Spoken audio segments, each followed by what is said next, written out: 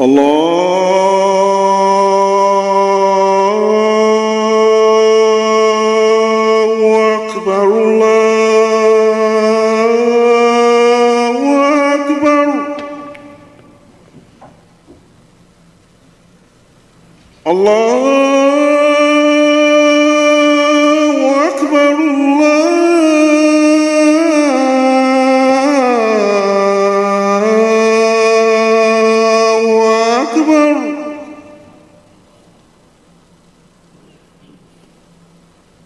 أشهد أن لا إله إلا الله.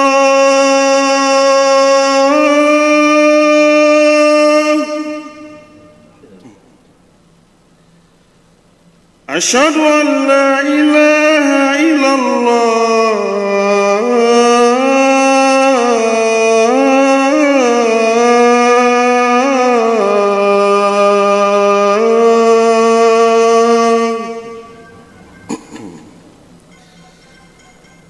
أشهد أن محمد رسول الله.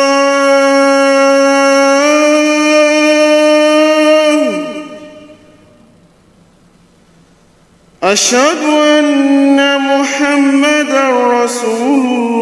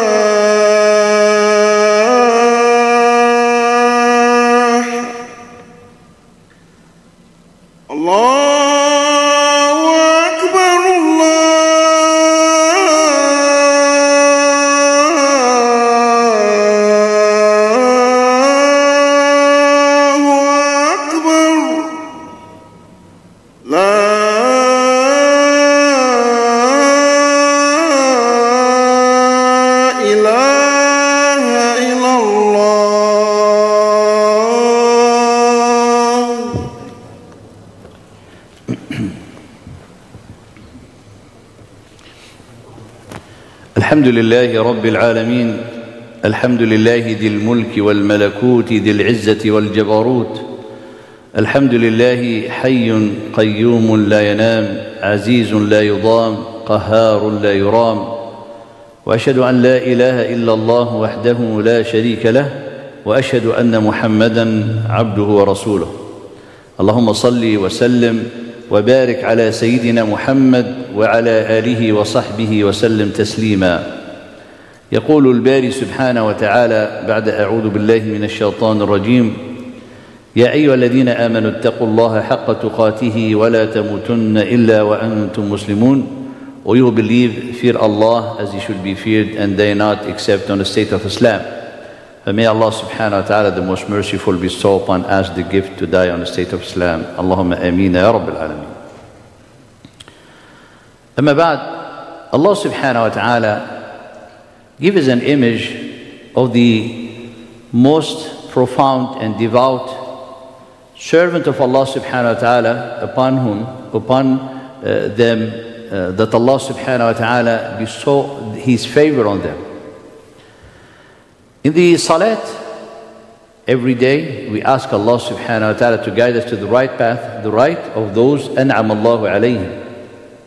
أنعم عليهم those that Allah subhanahu wa ta'ala bestow upon His favor. In Surah Maryam, describing these great people, قال Allah subhanahu wa ta'ala the prophets uh, among them he named Nuh and the offspring of Adam and the offspring of those who are being carried with Nuh alayhi salam the offspring of uh, Ibrahim and of Yaqub alayhi salam ajma'in then قال وممن هدينا واجتبينا and from among those or those who have guided and those who have chosen إذا تتلى عليهم آيات الرحمن when the verses and the Quran of the ayat of the most merciful is recited to them خروا سجدا وبكيا they fall into prostration and weeping so this image that Allah subhanahu wa ta'ala describing for us is the image of those who mun'am alayh Allah bestow upon him his favor then when we read in Surah Al-Fatiha, inquiring, imploring, beseeching Allah subhanahu wa ta'ala to give us the guidance of those who Allah an'ama alayhim. Therefore, the whole image that portray the ni'mat of Allah subhanahu wa ta'ala is the stance of sujood in weeping. And the stance of sujood reflect the love of Allah, the connection of Allah, the glorification of Allah, the veneration of Allah, the rejoicing, the istibshar, the happiness, the tranquility, and the power in the heart. Therefore, this is image who reflect for us a heart that is fully, completely submitted to Allah subhanahu wa ta'ala. Then this image, when you read it in the Quran, Allah subhanahu wa ta'ala mentioned of the people of the book who believed in the Prophet sallallahu and they've been awaiting for the message because Allah subhanahu wa ta'ala told them that a messenger is going to come after Isa alayhi salam. قال إذا تتلى عليهم آيات الرحمن خروا سجدا وبكيا. They fall upon their faces in prostration and weeping. And it increased them in humility. As a believer in this blessed month, are we from those who an'am Allahu alayhim? Because we asking, inquiring, imploring Allah subhanahu wa ta'ala, and we want to be from those that Allah subhanahu wa ta'ala bestow upon them His favor. But are we in the guidance of these great people? As Allah subhanahu wa ta'ala said in Surah An-Nisa, وَمَن يُطِعِ اللَّهَ وَرَسُولَهُ فَأُولَٰئِكَ مَعَ الَّذِينَ أَنْعَمَ اللَّهُ عَلَيْهِمْ Those whoever who obey Allah and His Messenger, He will be in the companionship of those who Allah bestow upon them His favor. من النبيين والصديقين والشهداء والصالحين From the Prophet, the truthful, and the shuhada. Al the shaheed, he already died. No, there is a lot of shuhada still walking. They're still walking. As the Prophet ﷺ said, Should I show you a shaheed walking on earth? They said yes, and he pointed to Talha ibn Ubaidillah, Talha al-Fayyad, radiallahu ta'ala anhu. He's one of the Mubashirin bil Jannah. He's been given the glad tidings of paradise. Oh, How many today in our reality that you see them martyrs, and may Allah subhanahu wa ta'ala give victory and help and support and take the distress out of the people of our people of Gaza. These people, you see them shuhada, they are walking on earth. Therefore, when we're talking about an'am Allahu alayhim, as a believer, we need really to be, you know, dedicated, serious by thinking about it, contemplating. And we say, how can be among those an'am Allahu alayhim? It's not about someone is conflicting the guidance of the mun'am those who Allah subhanahu wa ta'ala bestow upon them His favor, but we are not aware or maybe distracted, maybe distracted, because being in this blessed month, our main objective, our great objective is to finish with month that Allah, Allah subhanahu wa ta'ala will have forgiven us. To finish with month, this month, and Allah subhanahu wa ta'ala has already had subhanahu wa ta'ala accepted us to be freed from the hellfire. So to ask for such a great thing, tremendous thing, things that beyond imagination to comprehend His greatness, we need to be dedicated and serious. Therefore, when you look at the stance of someone making sujood, weeping, Sayyidah Aisha, the most amazing thing she said that she saw from the Prophet ﷺ in his prayer of Qiyamul Layl, and subhanAllah, his tears had wet his beard, and wet also soaked the place upon which the place that he's making sujood, the ground. So the weeping is a nature in the heart that has sujood to Allah, a heart that is fully, fully submitted to Allah.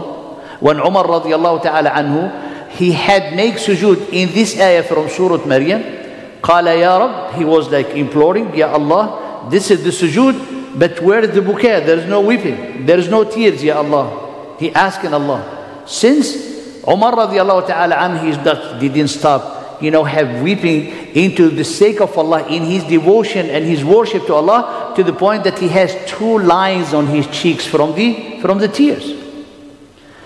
Therefore, a believer, a true believer, dedicated believer will ask, how can I be from these great people? How can I come to incarnate all our dedication, devotion and worship to Allah in one sujood that reflect my truthfulness? And it is two points, dear brothers, respected sisters. To be from those who Allah subhanahu wa ta'ala bestow upon them His favor, al-mun'ameen alayhim, or al-mun'am alayhim, is to have two steps. Because someone cannot be as a high level on his own. It is Allah's tawfiq. Allah subhanahu wa ta'ala will guide you. Allah make it easy for you. Allah subhanahu wa ta'ala endear the faith into your heart. Allah make you to love the salah. Allah make you to love to pay, to share, to give zakat, to donate, to do such a thing. And then it becomes like your drive. Allah subhanahu wa ta'ala change all your, your heart that it has filled you know, people they have envy, hatred, grudge, things, and it turned into ikhlas, it turned into dedication, it turned into devotion. This is Allah subhanahu wa ta'ala uh, favor upon you. However, it is, you know, you will not gain it on your own. Allah will give it to you. So how these great people they get to that level? It started with the point. And the point is al-mabda'u, is the principle, is the beginning. The beginning need to be from you. And this beginning need to be a submission, a truthful submission, a surrendering to Allah subhanahu wa ta'ala that is a true surrendering to Allah. And when I say true surrendering to Allah subhanahu wa ta'ala, it means that you consider and learn all Allah subhanahu wa ta'ala attribute to know how you're going to surrender to Allah. And it does not lead like profound knowledge. No, when Allah subhanahu wa ta'ala said, I am a razzaq, I am the provider. The fact to doubt about the provision of Allah subhanahu wa ta'ala, you are conflicting and having doubt about the name, the whole sustaining. Allah subhanahu wa ta'ala al-qayyum. قائم على كل نفس. He's the one subhanallah who holding and taking care and managing and controlling. Who every soul. So this is one of the aspects of the surrendering to Allah subhanahu wa ta'ala that is a truthful surrendering to Allah subhanahu wa ta'ala. Then when we say al-istislamu sadiq, is to surrender fully, completely to Allah subhanahu wa ta'ala. And this is the mabda. When you start like that, then Allah subhanahu wa ta'ala will help you, will guide you, will increase you in faith. And this is the sunnah of Allah subhanahu wa ta'ala. When he was talking about the people, the young people of the cave, the young adult from the cave, what he said, قال إنهم فتية آمنوا بربهم. They were like young youth who believed in Allah. That's the mabda, that's the beginning, that's the surrendering. وزدناهم هدى and we increase them in guidance وربطنا على قلوبهم and strengthen their heart so the complete surrendering to Allah the truthful surrendering to Allah is going to induce such a power into your heart to help you be a full submitted heart والذين اهتدوا زادهم هدى and those who have been guided and came to the guidance increased them in guidance and he showed them the way of the piety how to to do their righteousness, how to be active dynamically into, the, into their life so they increase their faith, maintain it, sustain it, and increase their piety. And Allah subhanahu wa ta'ala said in many ayat, قال والذين اهتدوا زادهم هدى وزادهم وزادهم تقواهم and the other Allah subhanahu wa ta'ala the same also in Surah Maryam this one in Surah Muhammad and in Surah Al-Kahf about the, the young men and many of the ayat which denote in tansurullah yansurkum, if you give support and help to Allah, Allah subhanahu wa ta'ala will help you and increase you in blessing. And this is, comes to the second point is the action of piety. Because the iman that you have in your heart, it is the iman as a belief. How to implement this iman, how to put in action this iman. The putting in action of the iman, of the faith in your heart is the taqwa, is the taqwa. So the taqwa is the dynamic action of the iman, is the implementation of the iman. When you say, I believe in Allah and I believe that Allah, whatever He told me is just and whatever He commanded me, I submit to it, then when you come into your life anything that conflict with the order of Allah, you're going to shield yourself from it, you're going to prevent yourself from falling in it, and you're going to be uh, driven toward what Allah subhanahu wa ta'ala, to fulfill what Allah had, had commanded you to do. And this is the taqwa. However, the taqwa, if you pray, part of the taqwa. You read of the Quran, part of the taqwa. You pay your zakat, part of the taqwa. But is what is the most core, like the core element in the taqwa to help you always being driven. The more core, well, the core element in the action of the taqwa is Nasrullah. Nasrullah. It's like you become from Ansarullah. You help in the sake of Allah subhanahu wa ta'ala. You support in the sake of Allah. That is the drive of the action of the taqwa. Why? Because Allah subhanahu wa ta'ala said, if you support Allah, if you support the cause of Allah subhanahu wa ta'ala, Allah will help you. Allah will increase you in blessing. Allah will be with you. And when we say support and help in Allah subhanahu wa ta'ala, it's not like you're going to check and find any battlefield that you're going to fight for it. It's not that. Nasrullah subhanahu wa ta'ala start with your inner self. With your inner self. That's the true Nasr.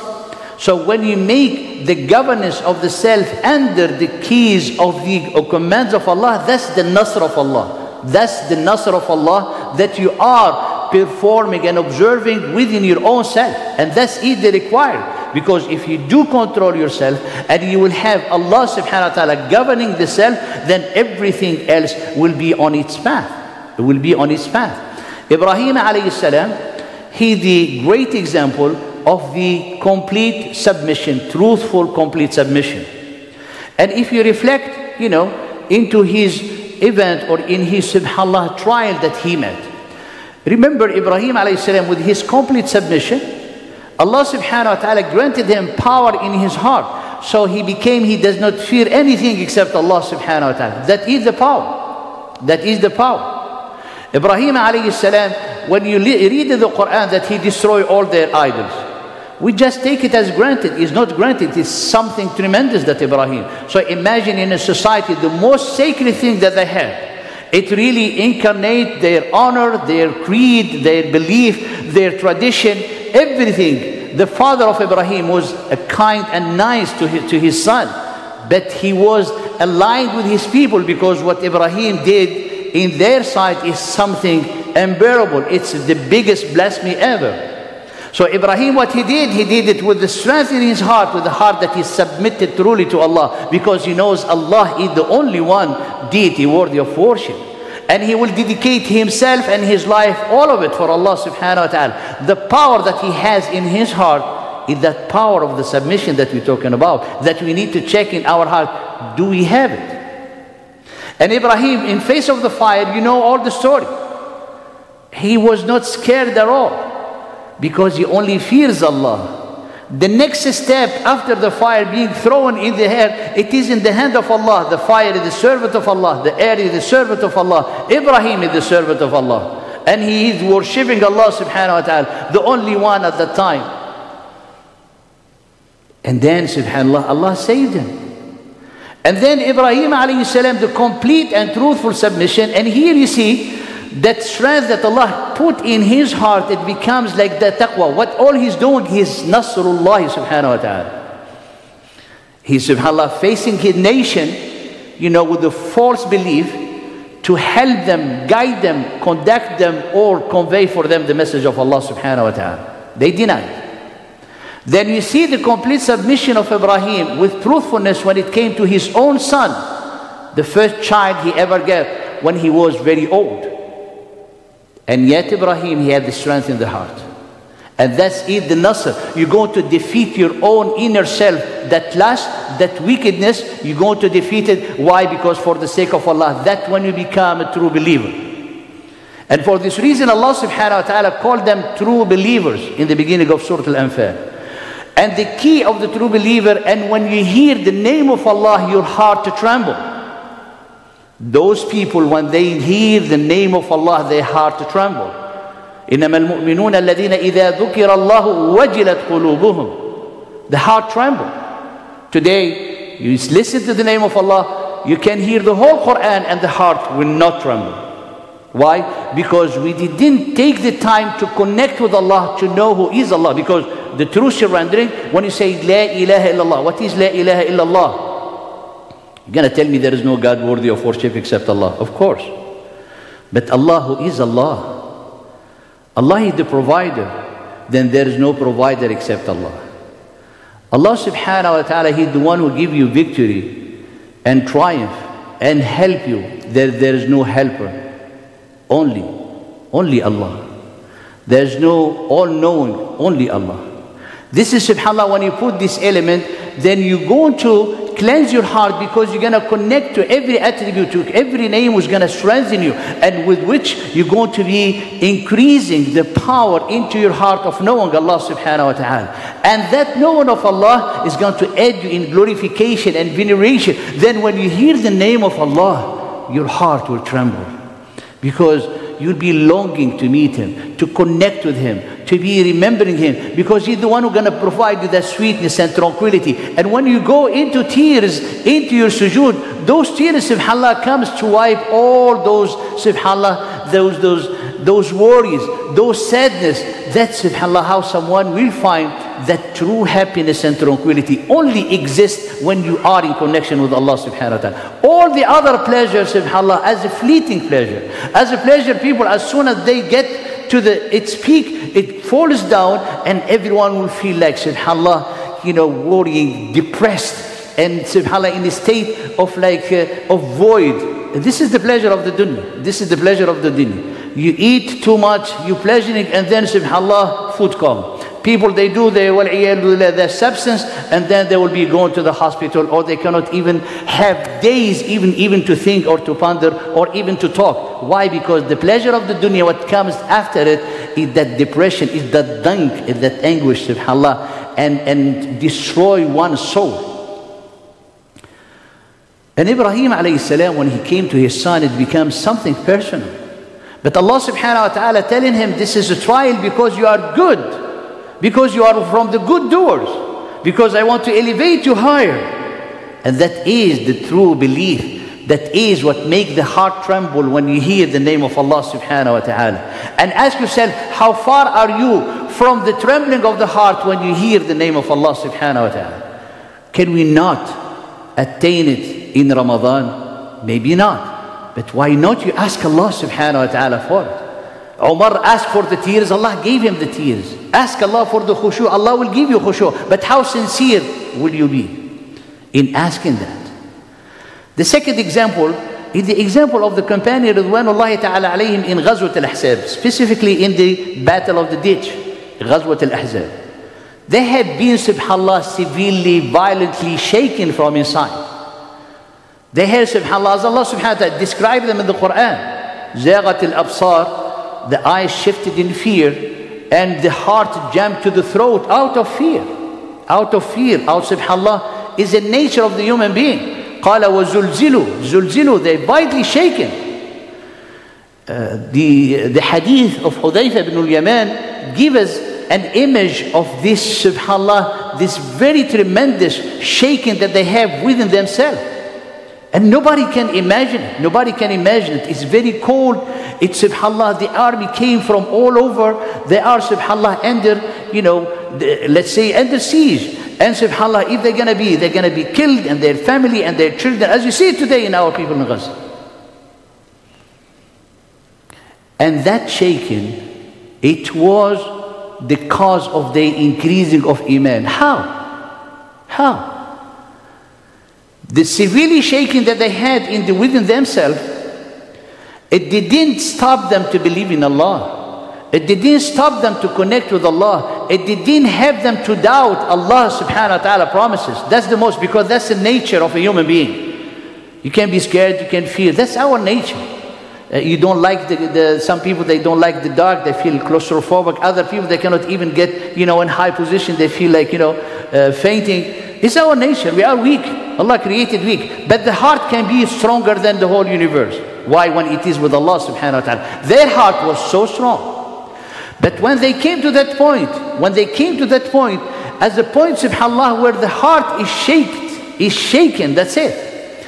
They knew this is the beginning of the nasr. This is the beginning of the help of Allah. Because at that position, they did everything in the sake of Allah subhanahu wa ta'ala they read in the Quran have not the example of the people before you came to you to the point that being touched by distress, by subhanAllah, anguish, by poverty, and they zulzilu, qala Allah subhanahu, then zulzilu, they violently being shaken. Till the messenger and the believer, they say, when the help of Allah is coming. This ayah, by analogy, they say that this, what happening them, this weakness, this shaking within themselves, it is the beginning of the Nasr. And Allah subhanahu wa ta'ala sent it is His Quran. Because they never doubted the promise of Allah. Never, never. قال ولما رأى المؤمنون الأحزاب When the believer, they say the confederate army, the allies, قالوا هذا ما وعدنا الله ورسوله This is what Allah and His Messenger promised us. What promised us? Nasr. How did you know? Because you are very shaken, violently shaken. And this is how we need to look at the situation of our people in Gaza today. And may Allah subhanahu wa ta'ala to help. That's the promise of Allah subhanahu wa ta'ala. وصدق الله ورسوله and Allah and His Messenger only they said the truth. And it increased them in iman and submission. You see, al-istislam sadiq the true surrendering. Increase them in iman. Someone in distress someone in deep fear someone deeply shaken it increased their iman. Why? Because in their trust in Allah subhanahu wa ta'ala. That is. So and this action itself in this action this is the action of the taqwa that you have defeated your weakness to say stop. Allah said stop. Allah will never break his promise. Stop because if someone is going to die, he's going to be welcomed and honored by Allah subhanahu wa ta'ala. In this nasr of the nafs, you can look at uh, Yusuf alayhi salam. That subhanAllah, after the surrendering, Yusuf alayhi salam, he has one word that he faced with it everything that is going to conflict with his submission to Allah. He is fulfilling of the obedience of Allah. Ma'ad Allah. Stop. Ma'ad Allah. I seek refuge with Allah. Refuge is with Allah subhanahu wa ta'ala. And the condition of Yusuf to be seduced in that condition and to say ma'adallah to see the power of the heart of the Yusuf. This is the dynamic action of the Iman, which is the amal of the taqwa. The amal of the taqwa driven by helping, supporting the cause of Allah. It's something, maybe you think it's your own desire. You say, this is, be no, no, this is between you and Allah subhanahu wa ta'ala. That desire, Allah subhanahu wa ta'ala said, there is a way how can you spend it or subhanallah invest it. You invest it in halal. This one is haram. This one is haram. So you're going to help the cause of Allah. You're going to fight in the sake of Allah. I said no to the adultery, no to the zina, no to the gambling, no to the haram, no to the cheating, no to the gossiping. That is how you make nasr of yourself. Nasr of Allah by defeating the weak itself. When Allah subhanahu wa ta'ala will help you. And he was saying, Ma'ad Allah. You can read again Surah Yusuf.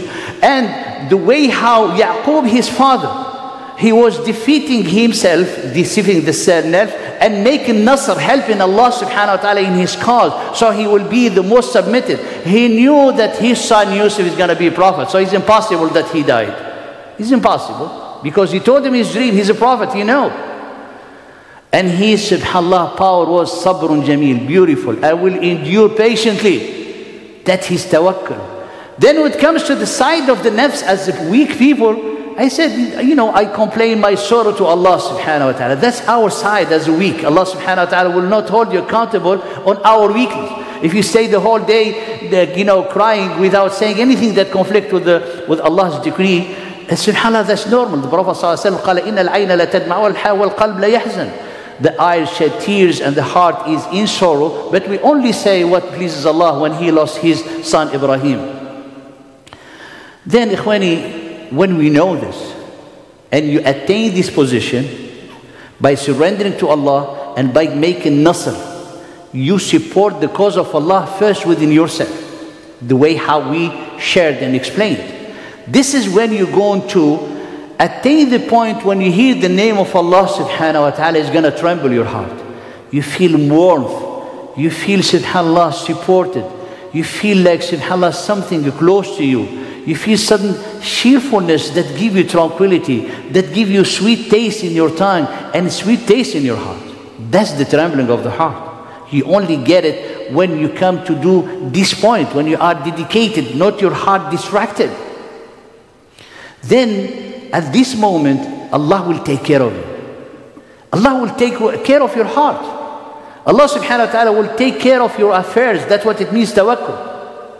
Musa alayhi salam, he was facing a whole empire, whole empire. Don't think like Musa was facing the sorcerer. He was facing all sorcerer brought by, you know, an emperor, and this emperor has all his soldiers. So Musa and his brother Harun facing a whole empire. So when Musa alayhi salam saw their sticks, how they turned, subhanAllah, shifting and moving like snakes, he got scared inside. And this is, look, Allah said, when you have a qalbun sajid, when you have a submitted heart, Allah will come to your help and guide. قال لا تخف, do not fear. You are the highest. إنك أنت الأعلى. So look at that confidence. In this position, when you have a submitted heart, Allah subhanahu wa ta'ala will blow into your heart that security and safety and assurance. إنك, you are the highest. وألق ما فيه. Just throw what you have in your right hand. Do you think that Musa knew what is going to happen? He didn't know. Just throw the stick. He knew that Allah showed him that he turned into snake, but he's going to do. And then how his stick turned into a snake, devouring everything. Himself was mesmerized, alayhi salam. But that the confidence that Allah put in the heart of a believer who already submitted to Him and he was given nasr to Allah subhanahu wa ta'ala. Ayub alayhi salam in his subhanallah profound situation, how he was, you know, قال مسني الشيطان, the shaitan has touched me with the, with adab, with the torture, you know, subhanallah, and the nasab, and he caused me this distress. How? Because the shaitan came to him and told him, you are, you are prophet and think, why God is doing this for you? So he was, subhanallah, having to, as Ahl Tafsir, this is what they said, you know, to cause him to think wrong of Allah, to have assumption about Allah. And that, subhanAllah, for Ayub is something that if he will embrace it, then he's going to break his patience and break his firmness. Then he implored Allah subhanahu wa ta'ala. And then when you come to Allah to ask refuge with him, like Yusuf, like Yaqub, like subhanAllah, the case of Musa alayhi salam, here Ayub, Allah subhanahu wa ta'ala in simple way. He'll give you the solution in the most simple way. قال اضرب برجلك هذا مختص. Just hit with your feet the ground. It's gonna gush water with which you wash and everything will be fine. And will give him the blessing. Why the blessing? Because he was fully, truthfully submitted to Allah subhanahu wa ta'ala. Therefore, when you do such a thing, you're going to look at one aspect is when you are on the path, your goal is to give nasr to Allah, to help and support in the cause of Allah, starting with yourself. This is how you're going to become from الذين أنعم الله عليهم فمay Allah subhanahu wa ta'ala make us among them أقول قولي هذا واستغفر الله لي ولكم فاستغفروا الغفور الرحيم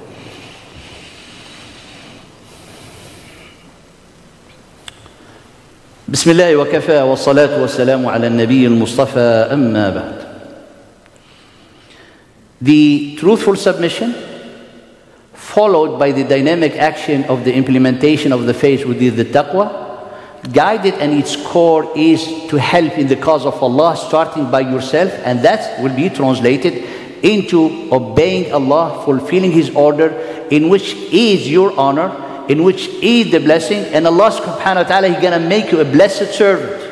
As he said, Isa qala waja'alani mubarakan. He made me to be blessed.